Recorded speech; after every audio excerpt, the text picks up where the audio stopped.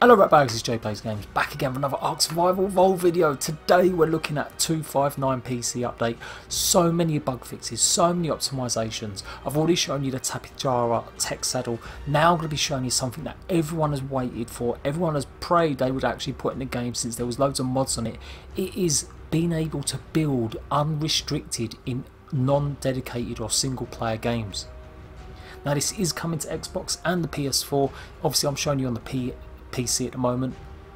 But it's exactly the same guys. When you go into your settings, so host the game, there are some new settings they've added.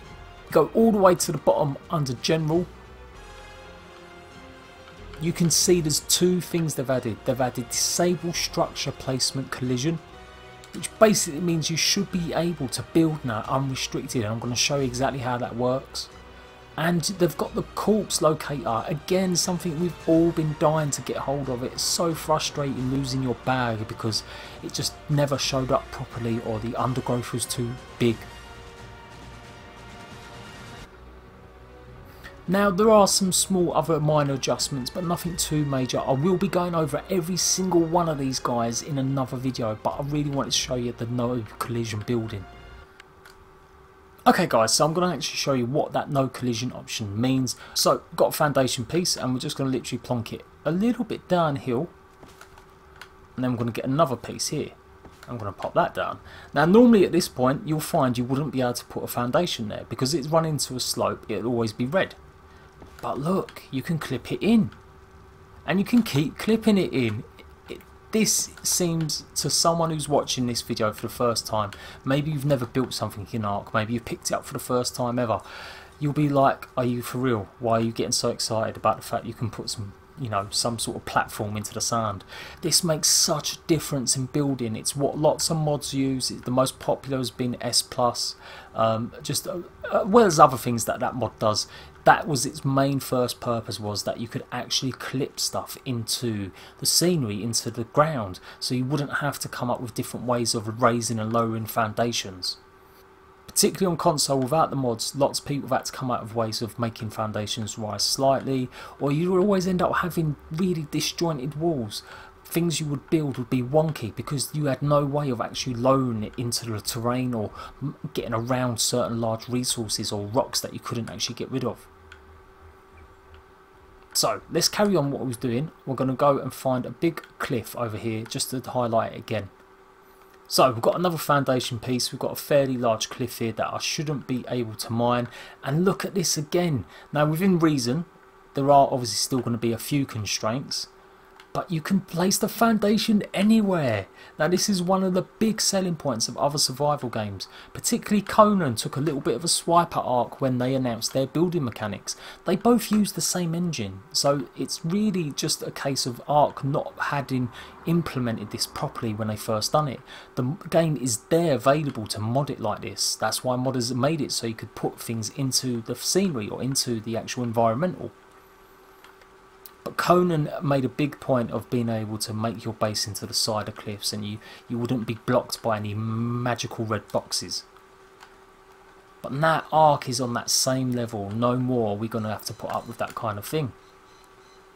And look, you can put a ramp it as well. I mean, you know, put you put that comment in there how much you have been looking forward to this guys how long you've waited if you're on console particularly where you haven't had a chance to use any mods how long have you waited for being able to do something like that. Just putting something in there, switching it around, not worrying about whether or not it would clip into something, not having to lower it, not having to raise it, not having to build something completely wonky. It is it is revolutionary. It's game changing, honestly and truly. You guys are going to be building so much more now. You guys are going to find it so much quicker and easier to build fantastic things. And it means that I am going to have even better quality builds to show you guys when I do world tours a big part of what my channel is is about showing off what you guys can do in your creativity. So I will always carry on doing the world tours. Sometimes they're a bit logged off at the moment because I'm doing updates and other stuff.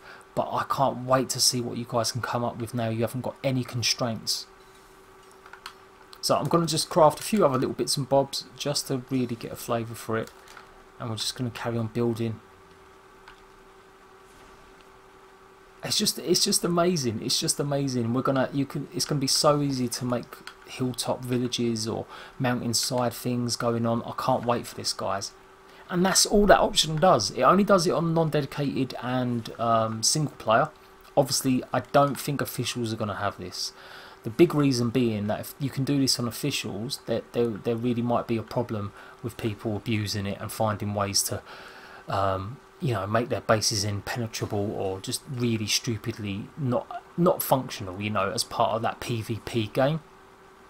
But certainly in single player and non-dedicated player you know why not? Absolutely you could have this. There are still some constraints. Obviously you still need to have the right building materials I can't just put a ceiling place piece onto the floor or into a cliff. It still has to connect and, and be something. And it does look like you still need foundation support, which again is okay as well. If you don't know what foundation support is really, you do need foundation support under pretty much every sort of piece you put up. You can stretch out two from a foundation, but the next piece you'd have to put an actual pillar to make it stand. So there's going to be lots of experimentation. I'm sure you guys are going to come up with something much more sophisticated than I'm doing, and you're going to be able to teach me some tips like you guys have always done. A big shout out to everyone I've ever done a world tour with. You know, without you guys, I wouldn't know a single clue about building, and I still don't. There's still lots I need to improve, but I definitely think I've picked up loads of great tips and loads of ideas from you people. So, there you go, you can get it into terrain. Let's go and have a little test of what other terrain you can actually clip it into. So you can clip it into trees as well. Look at this, guys. That's fantastic. No more making your land absolutely obliterated from any sort of overgrowth or, you know, plants or trees. You can literally just go around it now. You'll be able to make sort of plant pots and all sorts of things.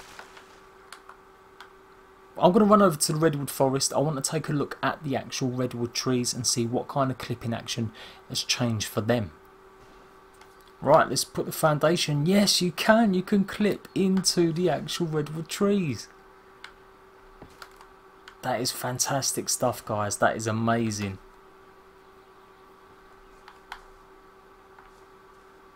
You could even build circular, like I've got the idea now, instead of having a rope ladder, you could build a circular walkway going up your tree. So let's see if I can put my theory to test. We'll place um, just a normal ceiling tile, yeah, just like that. And then let's see if we can organise this. Now if I put that one there, oh, yeah, that's just about works. It's not going to obviously be as neat. I mean, there might be better ways to make it more neat. I'm sure you guys are going to come up with something much better than I've got at the moment. Piss off, Raptor.